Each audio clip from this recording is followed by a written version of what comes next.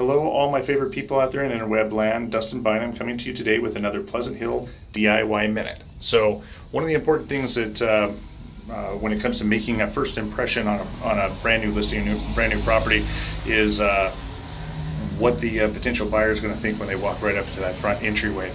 And uh, let me show you what we're working with. We have a property that's going to be coming to the market soon and we have this uh, entryway here. The entryway is not bad, but uh, and the camera is probably not going to pick up the detail here, uh, but I'll explain to you what's going on here. So we got this nice dark Kelly green door, but the paint is kind of faded and oxidized.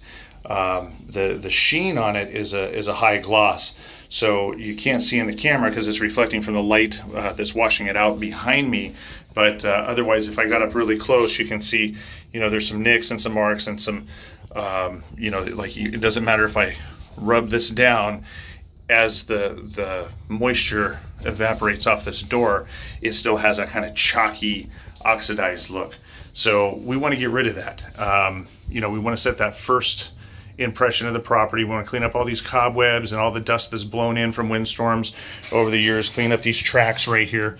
Got all that uh, junk there in the door or the, the window seal and just make this uh, entryway a very nice, inviting um, uh, setting when a potential buyer walks up to this property um, to see it for the first time.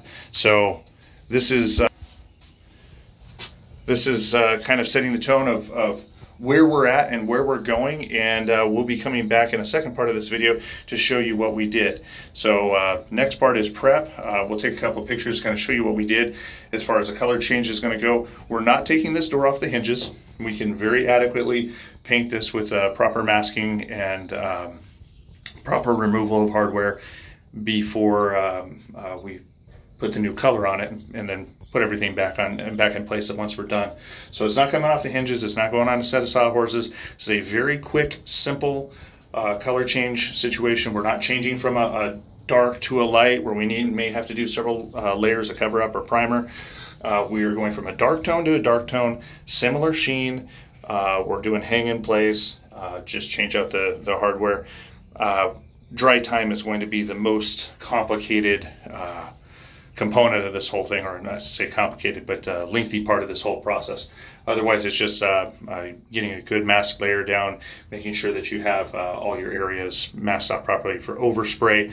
Make sure you got cardboard on the entry so that uh, any of the um, sediments that fall out of the air don't get onto the brand new flooring that we have in this property and uh, kind of go from there. So stay tuned. We're coming back with the second part of this video just after this.